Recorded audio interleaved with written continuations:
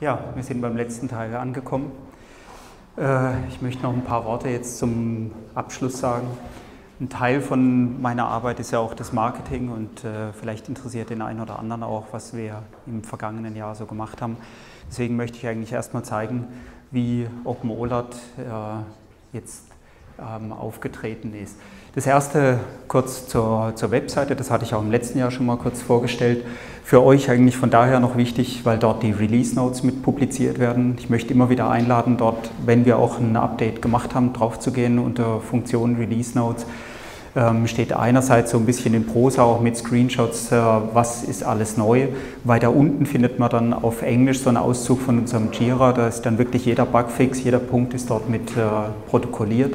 Da könnt ihr dann entsprechend alles nachschauen. Von den größeren Releases findet man dann dort auch immer die, die kleinen Filme, die die Sabrina erstellt, ähm, damit man dann sich das nicht alles durchlesen muss. Wir haben ungefähr so bis 1200 Zugriffe pro Tag auf der OpenOLAT-Webseite. Und ähm, was mich eigentlich besonders äh, verwundert hat, als ich das jetzt analysiert habe, ist, dass, der, dass wir 80 Prozent aus dem deutschsprachigen Raum Zugriffe haben. Ich hatte eigentlich gedacht, dass wir einen viel höheren Zugriff auch aus dem englischsprachigen Raum haben. Aber es ist wirklich ein System, was, ähm, was doch hauptsächlich Deutschland, Schweiz, relativ wenig auch in Österreich ähm, mit aufgerufen wird.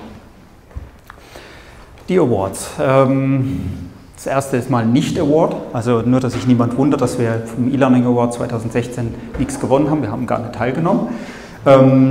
Der nächste ist das E-Learning-Check. Da haben wir jetzt letztes Jahr auch eine Pause gemacht und haben jetzt eigentlich dank euch den Award gewonnen. Das ist ja jetzt wirklich ein Award, der von den Kundenbewertungen ausgeht. Ähm, da wird äh, ein Link an euch geschickt von, von uns aus und vom, vom E-Learning-Check und man füllt es entsprechend aus, wie, wie so die Dienstleistungen sind, wie man zufrieden ist mit, äh, mit dem System.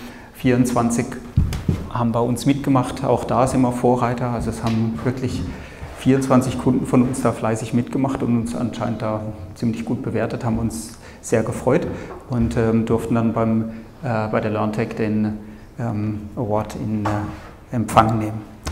Da sind wir auch schon bei der Thema Messe. Was ist letztes Jahr passiert? Ähm, das Aktuellste jetzt in, in diesem Jahr ähm, an der LearnTech sind wir ja schon seit, seit jeher irgendwo mit dabei. Wir haben diesmal einen großen Stand hingestellt. Wir haben einen Standbauer, so richtig professionell. Wir haben uns kaum wiedererkannt und wahrscheinlich viele von unseren Kunden auch nicht. Die haben sich Teil gar nicht an den Stand getraut, weil es so professionell ausgeschaut hat, also gar nicht mehr so Open Source mäßig. Aber trotzdem war es ein wichtiges Signal, denke ich, dass wir da mal äh, was anderes ausprobiert haben. Wie in den Jahren vorher haben wir trotzdem äh, keinen Frantic-Stand gemacht, sondern Open OLAT-Stand. Es war auch entsprechend blau. Die BZG, LVG haben sich da mit, mit abgewechselt und haben uns unterstützt und haben eigentlich gezeigt, was so die Community macht. Und Conplus war wieder Standpartner, dass wir uns das geteilt haben und äh, den Stand gemeinsam bewirtschaftet haben. Conplus eben mit dem eigenen Angebot von ihren Kursen. Ähm, wollten aber, dadurch, dass sie auch Open OLAT verwenden, war das eigentlich auch ein schöner Showcase. Ähm, Jetzt dauert ein bisschen, bis die ganzen ähm, Bilder da geladen werden, dass man mal so einen kleinen, kleinen Eindruck bekommt von, von unserem Stand. Wir haben da wieder unser Poster im Hintergrund, da der große Stand von der Seite Frentix und Open OLAT. Der kleine grüne Bereich, der Frentix widerspiegelt hat. Daneben der Bernd BZG, der uns unterstützt hat. Gespräch. Hat viel Spaß gemacht. Auf der Seite war der, der Stand dann auch von Conplus aus designt, also je nachdem von welcher Seite man gekommen ist, hat man es unterschiedlich gesehen. Hat sich so über einen Award gefreut. Und äh, das ist jetzt der Stand in der nächsten Jahr 2018 wird die LearnTech das erste Mal in zwei Hallen durchgeführt werden und wir haben uns hier direkt an den Eingangsbereich katapultiert. Mal schauen, wie wie das dann aussehen wird, ob wir mehr Leute dann nochmal anziehen können. Ähm, was auch noch war, im Oktober die E-Learning Summit Tour wird organisiert vom, vom E-Learning Journal. Ähm, ist immer so eine Städtereise, gibt da irgendwie 10, 12 Stationen durch ganz Deutschland, eine in der Schweiz, eine in Österreich. Wir waren bei in Zürich mit dabei. War von daher spannend, weil zum einen waren wir dort Sponsor und haben so einen, so einen Mini-Stand da gehabt zum anderen hat die Annette von Avalok äh, über OpenOLAT erzählt, wie sie das umgesetzt haben. Und die, die Summit-Plattform, also dort, wo eigentlich die ganzen Filme präsentiert werden vom E-Learning-Journal zu der Summit-Tour, ähm, die wurde letztes Jahr jetzt auch ähm, als, auf OpenOLAT umgesetzt, was uns natürlich unheimlich freut, dass die absoluten Experten vom, vom E-Learning-Journal ausgerechnet OpenOLAT nehmen. Finden wir super. Campus Innovation war mal im November in Hamburg. OpenOLAT, Selectus präsentiert, waren wir so als, als kleiner Sponsor mit dort. Ja, jetzt äh, hatten wir noch so einen kleinen Test mit eingespielt. Äh, viele von euch haben den noch gemacht. Ich fand es total wichtig auch zu sehen, was, welche Funktionen gibt es da, was kann man so alles machen.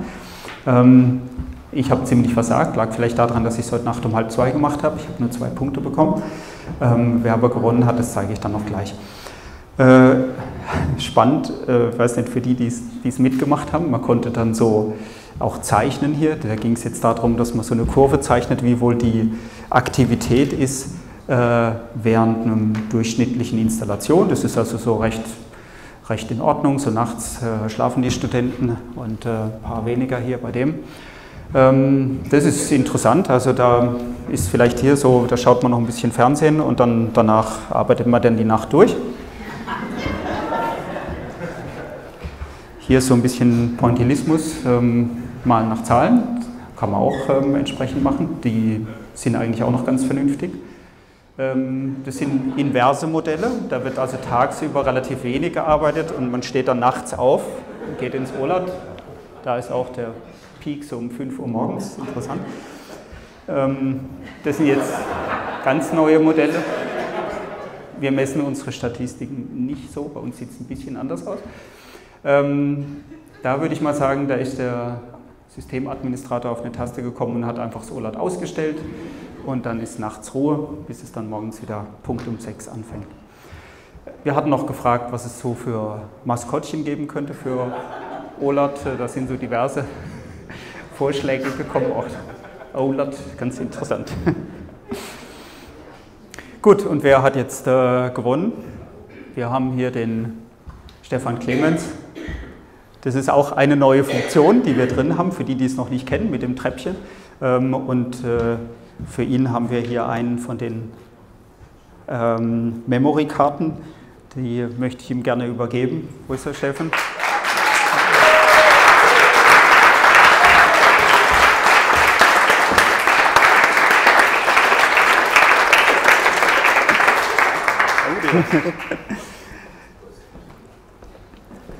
Oh, So, damit wären wir jetzt eigentlich durch.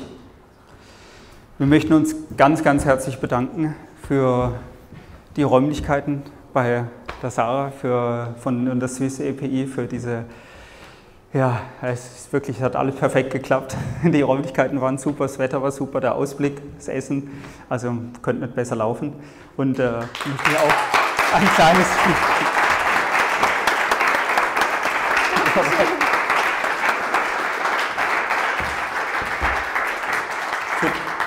Für die, die es eben noch nicht kennen, unser Memory, das kann man natürlich zu Hause mit den Kindern spielen. Ähm, aber es ist eigentlich auch ganz interessant, um die, die Kärtchen zu nehmen und so Kurse aufzubauen. Wir machen das mittlerweile in den Schulungen ungeheuer praktisch, dass man mal sieht, wie, wie man eigentlich vom didaktischen Konzept die, die Kurse aufbauen kann. Und da das so toll ist, ähm, verkaufen wir die auch. Also die 20 Franken sind nicht dafür da, dass man sie nimmt, sondern wer will, der kann, äh, kann sich das gerne noch äh, hier vorne einfach hinlegen. So, und jetzt ähm, auf das, warum wir überhaupt hier sind. Äh, der Apero, wir haben äh, die, die Lounge reserviert, das ist Teil vom, vom Bohemia Restaurant, das ist so ein Grillrestaurant. Es gibt ein Apero, ähm, wir übernehmen alles das, was erstmal dasteht, ähm, weil wir ja zehn Jahre Frentix feiern. Von daher ist das jetzt diesmal doch ähm, ordentlich, was wir da zur Verfügung stellen und ähm, den Rest, wenn das dann alles leer ist, dann könnt ihr dann dort noch essen gehen oder, oder weiter trinken, das ist dann auf eure Kosten, aber das Erste, was jetzt mal da ist, ist von uns gesponsert. Wie kommt man da hin? Ihr könnt jetzt entweder bei dem schönen Wetter noch da runterlaufen, also wir sind hier, diesmal geht es ja bergab, ähm, geht dann hier der, der Weg runter bis zum Restaurant Bohemia beim Klusplatz ist das, oder? Glaube ich. Kreuzplatz, Kreuzplatz, ja richtig. Ähm, die andere Variante ist, ihr nehmt den, den Bus, ähm, den 77er Abhaltestelle und fahrt dann da mit dem Bus runter und steigt dann entweder fünf Minuten laufen oder in den Bus 31 oder Tram 11 zum, zum Kreuzplatz dann. Ja, das war's. Ich möchte mich ganz herzlich bedanken. Danke auch an Sabrina, die das Ganze mit organisiert hat und da sehr viel Arbeit reingesteckt hat, auch die, die äh, Memory-Karten gemacht hat. Ähm, danke an euch alle, für die, die sich hier beteiligt haben und dann wäre es schön, wenn wir uns nächstes Jahr wiedersehen.